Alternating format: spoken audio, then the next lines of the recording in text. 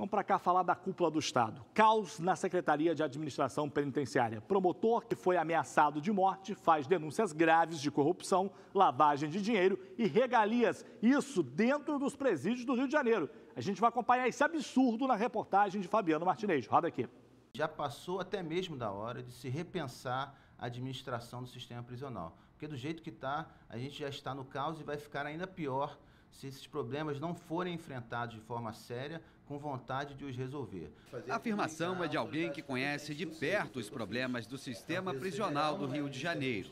André Guilherme Freitas é promotor titular de execução penal e atua investigando denúncias de irregularidades nos presídios do Estado, que não são poucas, e começam envolvendo suspeitas de regalias a um preso famoso, o ex-governador Sérgio Cabral essa pessoa não vai perder a sua influência, não vai perder o seu poder da noite para o dia. O promotor vai além e defende a transferência de Sérgio Cabral para um presídio fora do Estado. As denúncias também atingem diretamente o secretário de Administração Penitenciária, Eri Costa Filho. Segundo depoimentos de servidores da SEAP, o próprio secretário teria feito um acordo com líderes de uma facção criminosa para o uso das cantinas do complexo de Jericinó para lavagem de dinheiro do tráfico de drogas dentro das cadeias.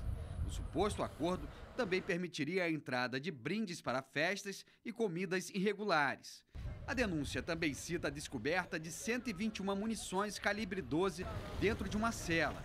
O registro só foi feito na delegacia após o juiz da vara de execuções penais, Eduardo Oberg, intervir no caso. O depoimento de um ex-coordenador de unidades prisionais revelou que funcionários da própria SEAP trabalham nas cantinas, o que configura acúmulo de função. Além disso, o preço dos alimentos também não tem nenhum tipo de controle e os locais chegam a faturar 6 mil reais por dia. Para o promotor, é impossível que se combata o crime organizado no Estado sem um controle eficiente dentro dos presídios. Posso dizer que no sistema prisional existem as verdadeiras catedrais do crime.